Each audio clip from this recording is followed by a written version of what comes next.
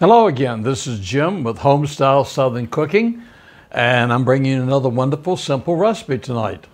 This recipe I've been making for at least 40 years. Um, somebody made it for me for a Valentine's dish 40, at least 40 years ago, and I've been making it ever since. My kids grew up on it, and it's called Chicken Continental.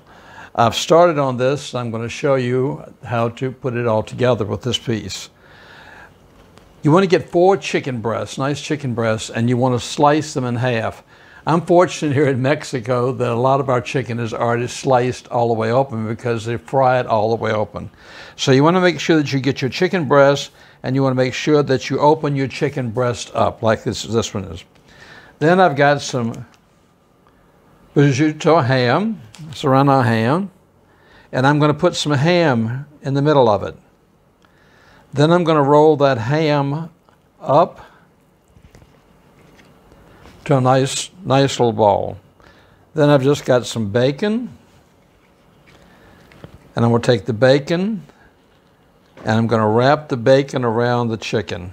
I mean, how, how can you go wrong when you have ham, bacon, and chicken all together? I mean, come on. The, the flavors you have right there together are incredible. All right, let's put one more piece around this. What I do then is I put it in a casserole dish, and what I usually do is I put four or five pieces of bacon in my casserole dish to set these chicken on top of it. I've already done that ahead of time to save some time. And as you can see in the bottom here, I've got I've got the I've got the bacon on the bottom, and I've got these three pieces, these three breasts that have already been wrapped. I'm going to add the fourth one in here into the, to the casserole dish. Then I'm going to set these two things aside for a second. And wash my hands just a little bit here. Next, we're going to make the sauce to go on top of it. So I'm going to get my mixing bowl and tell you exactly what goes in here. In my mixing bowl, I've got eight ounces of sour cream. If you buy one of the little containers of sour cream like they have in, in the States, uh, that's all you need, the whole thing, okay? If not, I take I buy a big one down here and take out I take out about about a small container's worth, and that's what I did. This is just sour cream that I've got that I'm adding to here first. To the sour cream, I'm going to add. Now I'm going to use mushrooms and chicken tonight. If you want to use just cream of chicken, you can do that. But I like the mushroom and the chicken together because it gives it an extra little bit of flavor. This is, uh, like I said, condensed chicken and mushroom. Then to that, I want a fourth of cup, a fourth a cup of sweetened condensed milk. And now you think, oh, sweetened condensed milk, that's going to be awfully sweet to put into uh, a chicken dish. But it adds something that's really special. So I'm going to put that fourth a cup of sweetened condensed milk in my mixture.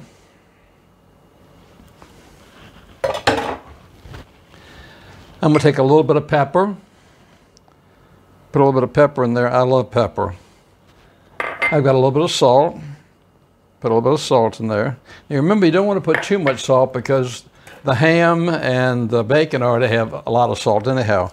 Then I want to mix this all together. Like I said, this is another quick dish, and it's a dish that never disappoints, that everybody that tries it says, oh my goodness, we've got to have that recipe. So this, you need to try this one like you have the others. It's something that's really, really good, and it doesn't take but very little time to make.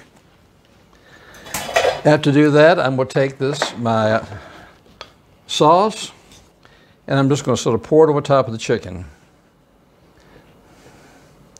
Now you have to realize this will get down in, into the chicken, into the bottom, because when the soup melts, the whole bottom of this thing will be covered with sauce.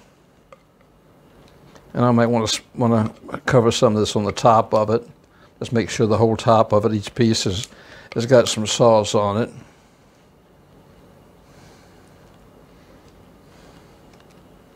Okay, make sure we get it all out of here.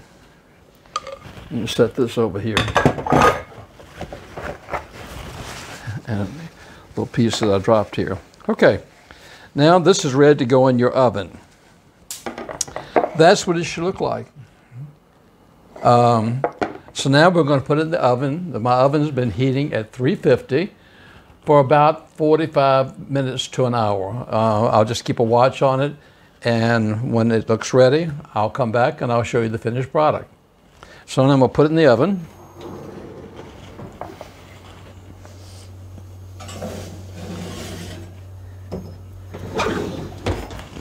And I will see you really soon.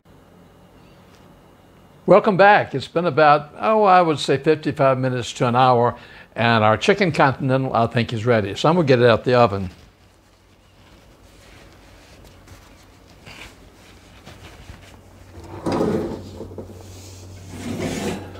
Wow, does this look good, and boy, does it smell good.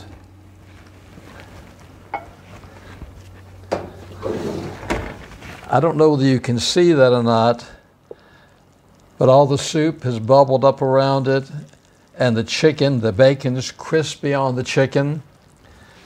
There are several ways of serving this. Uh, you can sometimes I serve it with spinach noodles with tomatoes on the side, or I'll slice this in little rolos and put it out there and put a rice dish behind it. But we're going to take one right now. We'll just take this one. Remember, it's got bacon on the bottom too. We'll take this one out. And I'm going to slice this in half for you. Turn it around this way so you can see it when I slice it.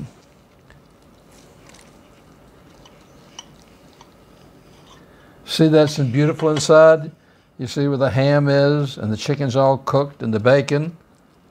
It makes a beautiful dish on your plate for guests. And I'm going to let you in a little secret. I've never shared this recipe with anybody else before. You know we're on Facebook, and every time I go on Facebook and I see that somebody has, has, liked something, or YouTube, I've got a new subscriber, I get really, really, really excited. So when you go on Facebook or you go to YouTube, um, please hit the subscribe button.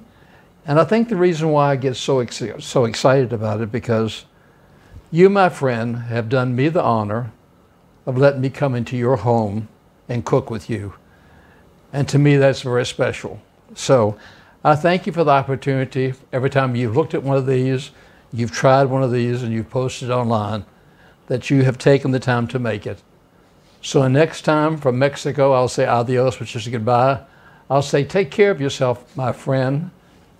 God bless, and I'll see you soon.